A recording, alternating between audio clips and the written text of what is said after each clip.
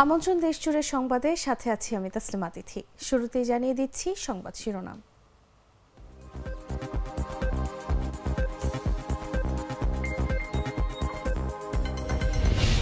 আগামী নির্বাচন হবে আমাদের জন্য আরেকটি মুক্তিযুদ্ধ, বলেছেন শিল্পমন্ত্রী। বিদ্যালয়ের মাঠে হাঁটু পানি উৎকণ্ঠায় শিক্ষার্থী অভিভাবকরা। মেঘনায় ট্রলার ডুবির ঘটনায় নিখোঁজ আরও দুজনের মরদেহ উদ্ধার। শায়স্তাগঞ্জে পানির নিচে নয়শো হেক্টর আমন। রাজশাহীতে প্রাণ আরএফএল গ্রুপের চাকরি মেলা শুরু।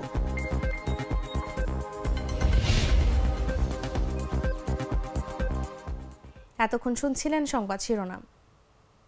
বুঝতে হবে, এটা ইউনিক স্ট্রাকচারাল ডিজাইনের কসমিক ডোর এর ওয়াল থিকনেস এবং রিপ থিকনেস বেশি থাকায় টিকে পঞ্চাশ বছরেরও বেশি। কসমিক ডোর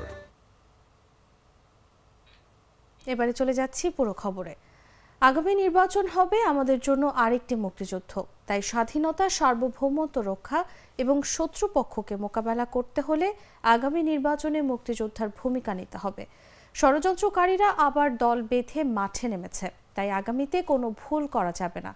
ভুল করলে গোটা জাতি বিপদগ্রস্ত হবে। নানা ঘাত প্রতিঘাত পেরিয়ে আজ বাংলাদেশ যেখানে পৌঁছেছে, সেখান থেকে পিছে ফেরার কোনো সুযোগ নেই। তৃণমূল নেতাকর্মীদের ঐক্যবদ্ধ হয়ে দায়িত্বশীল ভূমিকা পালন করতে হবে। আগামী মাসে নরসিংদীর ঘোড়াশালে এশিয়ার বৃহত্তম সার কারখানার উদ্বোধন করা হবে। বেলাবতে চারশো একর জায়গা জুড়ে আরও একটি বেসিক শিল্প নগরী হবে, যেখানে বিশ হাজার মানুষের কর্মসংস্থান হবে। এ এলাকার মানুষকে অন্য জেলায় গিয়ে কাজ করতে হবে না।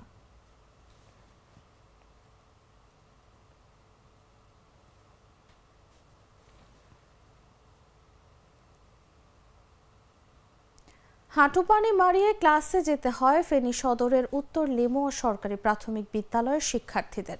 এতে দুর্ভোগে পড়েছেন শিক্ষক শিক্ষার্থী সহ অভিভাবকরা। জানা যায়, উনিশশো বাইশ সালে প্রতিষ্ঠিত উত্তর লেমুয়া সরকারি প্রাথমিক বিদ্যালয়ে দেড় শতাধিক ছাত্রছাত্রী অধ্যয়নরত। বিদ্যালয়ের মাঠটি নিচু হওয়ায় অল্প বৃষ্টিতে পানি জমে যায়। এতে প্রাক প্রাথমিকের শিক্ষার্থীরা বিদ্যালয়ে যেতে পরনের পোশাক ভিজে যায়। বিদ্যালয়ের প্রধান শিক্ষিকা মনিকা রানী দাস জানান বিদ্যালয়ের মাঠ নিচু হওয়ায় আশপাশের বাড়িসহ রাস্তায় পানি জমে। বিদ্যালয়ের নতুন ভবন নির্মাণ করার পর একপাশে উঁচু হয়ে গেছে। এতে বর্ষার শুরু থেকে বিদ্যালয় মাঠে পানি জমে রয়েছে। বিদ্যালয়ের শিক্ষকরাও পানি মারিয়ে ক্লাসে যেতে হয়।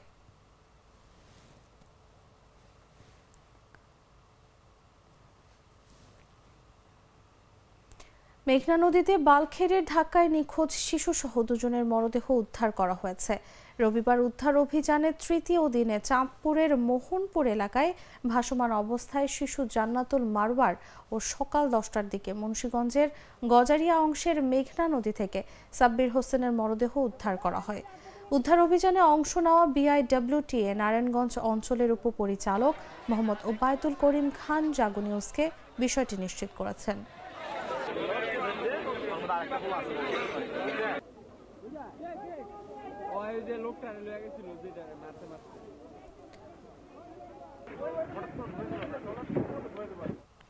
টানা বৃষ্টি ও পাহাড়ি ঢলে হবিগঞ্জের শায়স্তাগঞ্জে তলিয়ে গেছে নয়শো হেক্টর জমির রোপা আমন।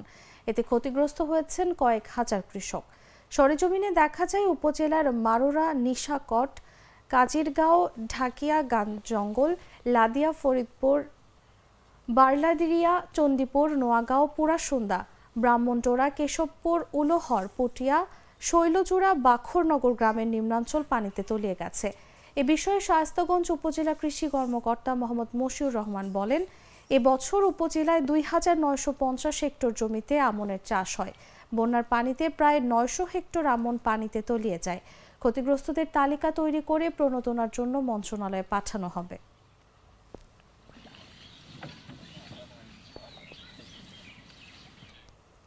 এদিকে দিনাজপুরের বিরামপুর, হাকিমপুরে কয়েকদিন ধরে গুড়ি গুড়ি বৃষ্টি শুরু হয়েছে। সেই অজুহাতে বাজারে সব ধরনের সবজির দাম কেজিতে বিশ থেকে তিরিশ টাকা পেরেছে এতে বিপাকে পড়েছে নিম্ন আয়ের মানুষ। রবিবার হিলি বাজার ঘুরে দেখা যায়, অধিকাংশ সবজির দাম কেজিতে বিশ করে বেড়েছে। সপ্তাহের ব্যবধানে বেগুনের দাম কেজিতে ত্রিশ টাকা বেড়ে বিক্রি হচ্ছে সত্তর টাকায়। পটল বিশ টাকা বেড়ে হয়েছে পঞ্চাশ টাকা করল্লা ষাট টাকা থেকে বেড়ে হয়েছে পঁচাশি টাকা। ঢেঁড়স বিশ টাকা বেড়ে বিক্রি হচ্ছে পঞ্চাশ টাকায়।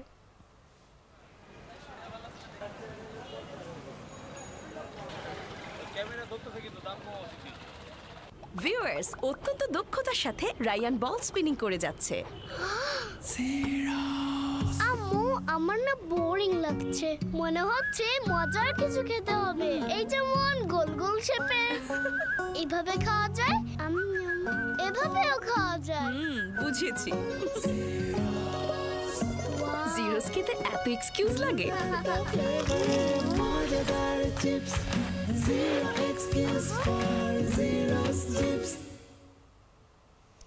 রাজশাহীতে প্রাণ আরএফএল গ্রুপের চাকরির মেলা শুরু হয়েছে। রবিবার সকাল দশটায় মেলার আনুষ্ঠানিক উদ্বোধন করেন রাজশাহী কলেজের অধ্যক্ষ আব্দুল খালেক। প্রাণ আরএফএল গ্রুপের আয়োজনে ও রাজশাহী কলেজ বিজনেস ক্লাবের সার্বিক সহযোগিতায় মেলা চলবে বিকেল পাঁচটা পর্যন্ত। মেলায় রাজশাহী সহ সারা দেশের বিভিন্ন স্থানে বেশ কয়েকটি পদে শতাধিক কর্মসংস্থানের সুযোগ থাকছে।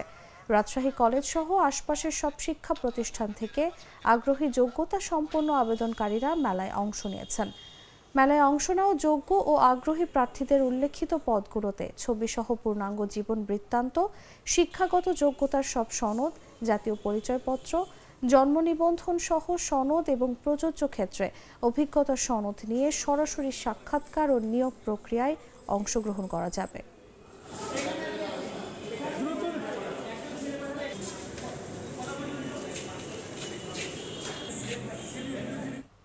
দর্শক, এই ছিল দেশজুড়ে সংবাদে। এরপর দেখবেন সন্ধ্যা ছয়টা নিউজ। দেখার আমন্ত্রণ জানিয়ে এখানে বিদায় নিচ্ছি।